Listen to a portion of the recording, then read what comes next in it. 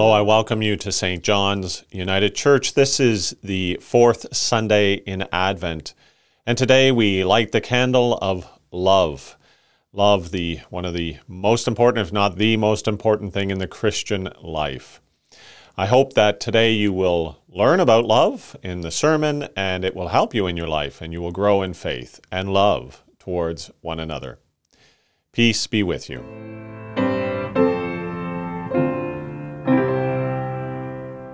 Drop down dew from above, you heavens, and let the clouds rain down the just one. Let the earth be opened and bring forth a Saviour. Pour forth, we beseech you, O Lord, your grace into our hearts, that we, to whom the incarnation of Christ your Son was made known by the message of an angel, may by his passion and cross be brought to the glory of his resurrection through our Lord Jesus Christ, your Son, who lives and reigns with you in the unity of the Holy Spirit, one God, for ever and ever. Amen.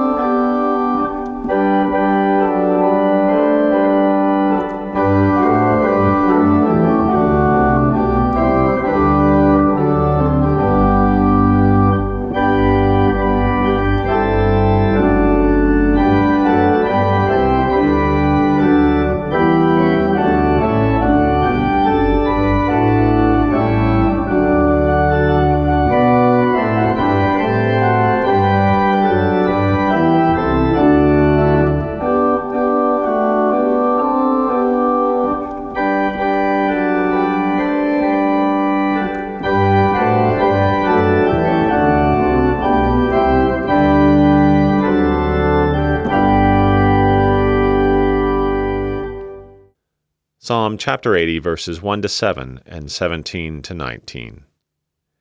Give ear, O shepherd of Israel, you who lead Joseph like a flock, you who are enthroned above the cherubim, shine forth before Ephraim and Benjamin and Manasseh. Stir up your might and come to save us. Restore us, O God. Let your face shine that we may be saved. O Lord God of hosts, how long will you be angry with your people's prayers?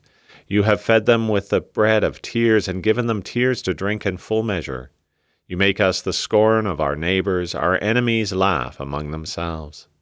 Restore us, O God of hosts, let your face shine that we may be saved. but let your hand be upon the one at your right hand, the one whom you made strong for yourself. Then we will never turn back from you. Give us life, and we will call on your name. Restore us, O Lord God of hosts. Let your face shine, that we may be saved.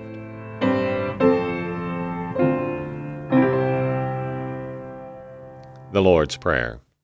Our Father, who art in heaven, hallowed be thy name.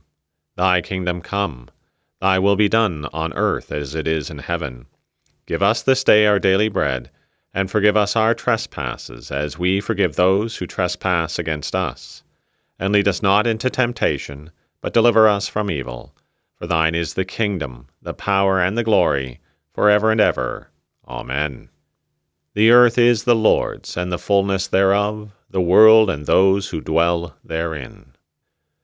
O God, author of all goodness, who has entrusted us with material possessions and made us stewards of your bounty, accept the offerings which now we present to you, through Jesus Christ our Lord.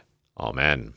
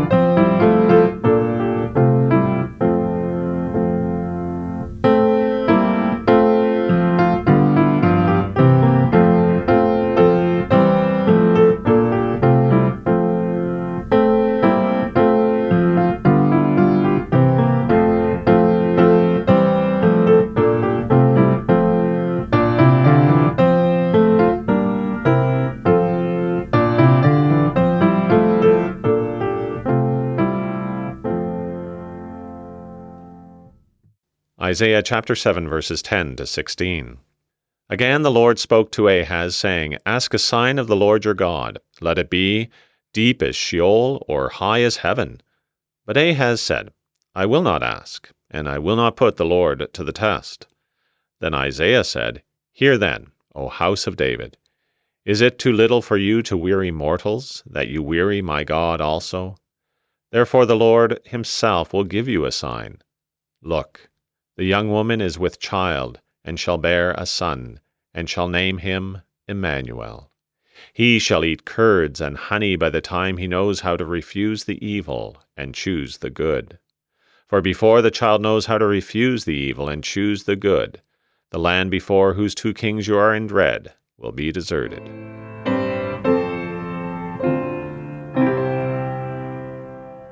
Romans chapter 1 verses 1 to 7. Paul, a servant of Jesus Christ, called to be an apostle, set apart for the gospel of God, which he promised beforehand through his prophets in the Holy Scriptures, the gospel concerning his Son, who was descended from David according to the flesh, and was declared to be Son of God with power according to the Spirit of holiness, by resurrection from the dead, Jesus Christ our Lord through whom we have received grace and apostleship to bring about the obedience of faith among all the Gentiles for the sake of his name, including yourselves who are called to belong to Jesus Christ. To all God's beloved in Rome, who are called to be saints, grace to you and peace from God our Father and the Lord Jesus Christ.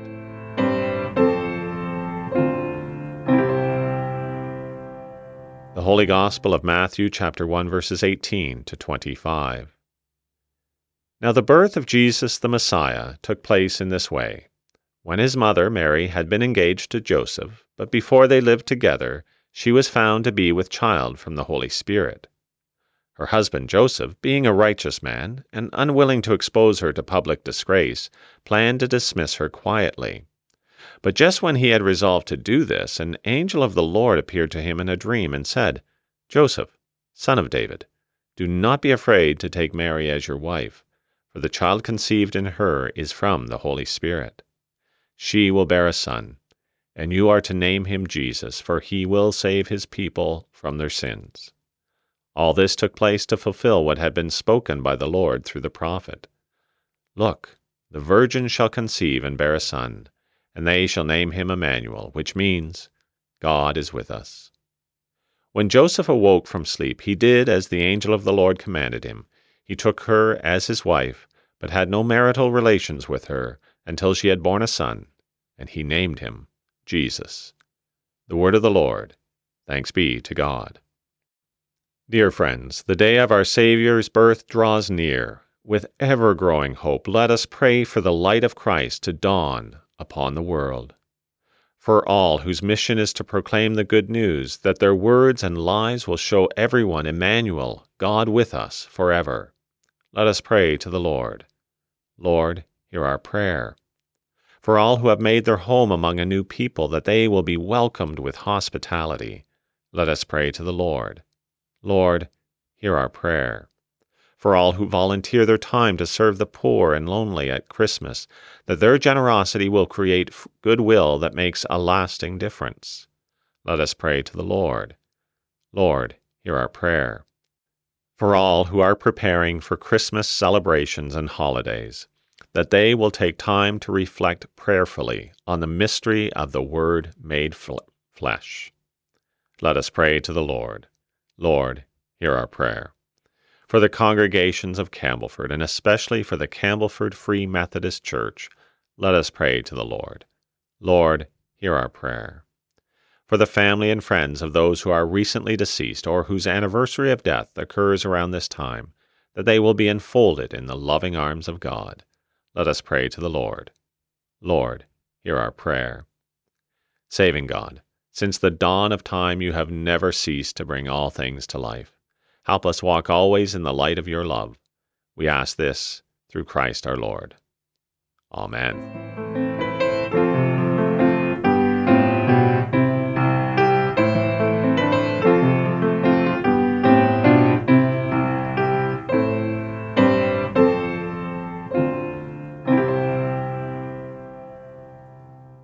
For those of you who don't know, my mother and father are ministers, mainly retired but I'm not sure one ever truly retires as a minister.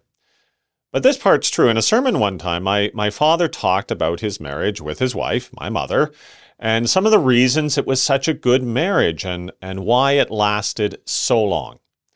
One of the things he pointed out was that they took the passage of Paul very seriously, which says in one translation, Do not go to bed angry. Do not go to bed angry. My parents vowed to do that in their marriage.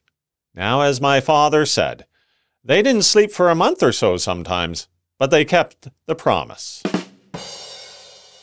Love. We have love between husband and wife. We have love among friends, love for God, love for ice cream, love for sports. Of course, all of these loves, at least I hope this is the case, are not the same type of love. The Greeks were aware of this a long time ago. I, have noted in the past that the Greek language has many words to describe different types of love. There is, for example, philia. That's brotherly love. It's where the term Philadelphia comes from. Philia, love, and Delphos city, so the city of brotherly love. There is eros and storge, which Storge is especially related to the love of parents and children. But the love that Paul says is most important, The love he describes in 1 Corinthians chapter 13, that's agape. This is the love that God has for us and the love we are called to have for others. When Paul says the fruit of the Spirit is love, joy, peace, patience, kindness, generosity, faithfulness, gentleness, and self control, that love that he mentions at the beginning, that's agape. Agape love is more than just a feeling. Indeed, sometimes I think it's quite possible that you can act on agape love and have real no feelings of love at all. You can show love, agape love, to your neighbor, who you like. But you can also show agape love to your enemy, who you may not like. So then, what is this agape love? Poets, theologians, philosophers throughout the ages have tried to define this term. So I am not sure I can do better than them, but I will try anyways. Here's how I would define agape love it is the love that wants the best for the other. The love that wants the best for the other. God wants the best for us. God desires our well being. And we are in, in, in return to show this same agape love to God and to others. Now, I tend to repeat this idea of loving ourselves at various times, but I, I think it bears repeating. Remember, Jesus tells us that the greatest command, well, you remember it, don't you? Love the Lord your God. But then he adds that the second greatest command is like it love your neighbor as you love yourself. Why is the second greatest like the first? St. Augustine tries to show this, but what's interesting is that he begins at the end rather than the beginning, not with, with love of God, but with love of oneself, the very end of all that phrase. So, what does it mean to love yourself? If you love yourself, what, what does that entail? So I'll use myself today since I understand myself not as well as I should, but certainly better than I understand anyone else. So, what does it mean for me to love me? Now, if you're asking that of yourself, you might come up with different answers, but, but I wonder if your answer wouldn't come to, to some sort of variation of what I said above. To, one, to love oneself is to want the best for oneself. If I love me, I want the best for me. Now, I know some of you might be thinking, especially if you're a lifelong Christian, you might be going right now, whoa, isn't that being selfish? And aren't we to get rid of selfishness? Well, here, what's the definition of selfish? To, to be concerned chiefly with one's own personal profit or pleasure. To be concerned chiefly with one's own personal profit or pleasure. And yes, I can give you, and we'll give you a few of them, many verses of Scripture that oppose that idea of selfishness. Philippians chapter 2, verse 4 says, Let each of you look not only to his own interests, but goes on, of course, to say where it should be. 2 Timothy chapter 3, verses 2 to 4. For people will be lovers of self, and that's a bad thing. 1 Corinthians chapter 10 verse 24 let no one seek his own good but the good of his neighbor. Now, these are true, but I urge you to see these in the context of the entire gospel message. And one of the principles of biblical interpretation is that the Bible will not contradict itself, since we believe this is the Word of God. So that, of course, creates a slight problem, because if we're not to be selfish, yet Jesus says that the second greatest commandment is love your neighbor as you love yourself. And elsewhere, Paul specifically states that no one hates his own body, but he nourishes and tenderly cares for it. He nourishes and tenderly cares for it. By the way, Paul is writing in the context of husbands loving their wives and says, just before this, he who loves his wife loves himself. So, is my definition of love to, to love oneself is to want the best for oneself wrong? because it is selfish? Or, and some might not like to hear this part, or is it a, a good biblical understanding of the right way to be. Maybe I shouldn't use this word, but I'll use it to be selfish.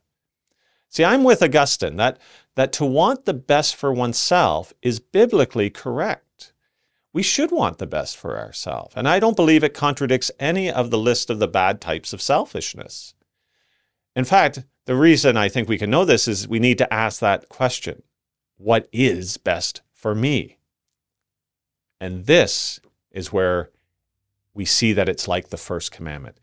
If I really want the best for me, if I really want to get the best this world has to offer, the world as God created it, not as it's presented to us by companies and advertising, if I want that world that the best of the world that God created for me, I have to look to the first commandment. The very best thing for me is to love the Lord my God.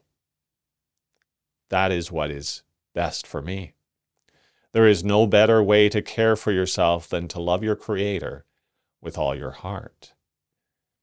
If you truly fulfill the first commandment, you have truly loved yourself, for that is what is best for you. And then, because there's a second part, isn't there, to that second commandment, to fully complete the second commandment, you need to want the best for your neighbor or your enemy. If that's what it means to love your neighbor, is you want the best for them. And what is the best for your neighbor? See commandment number one. It is for them to love the Lord their God, their creator and sustainer. Love your neighbor. Desire the very best for them. Agape love is seeking the best for the other, even if at times we don't have a feeling of love. And I think that is why in 1 Corinthians 13, Paul can say that, that though we may do some really good things, if it's not done in love, we are nothing. We can give our money, all our money, we could give it all away to the poor, but if we don't have love, Remember, if that's if I've understood it correctly, it means the best for them and mine, it is nothing. You see, we could be giving for the wrong reason, not for their ultimate well-being, not wanting the best for them, but for our image, to make us feel better, to make us look better to the world. If I do these good things like giving to the poor, but if I don't do it for the right reason, with agape love, I am nothing. Agape love is wanting the best for the other and acting for the best of the other. And we can only do that when we do the best for ourselves. And the best for ourselves is to love the Lord our God with all our heart, with all our soul, and with all our might. And that is why I think the second commandment is just like the first. And it is why, if you fulfill these two commandments, this is what Jesus says if you fulfill these two commandments, you have fulfilled all the commandments. Peace be with you.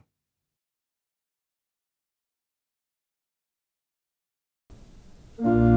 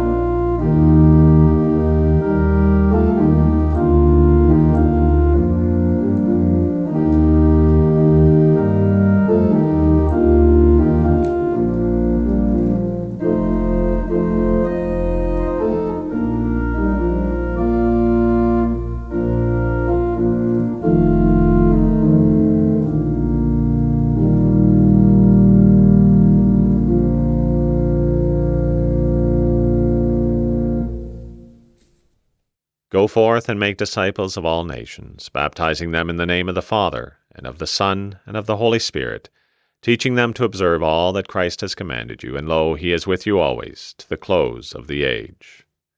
And now the Lord bless you and keep you. The Lord make his face to shine upon you and be gracious unto you. The Lord lift up his countenance upon you and give you peace. Amen.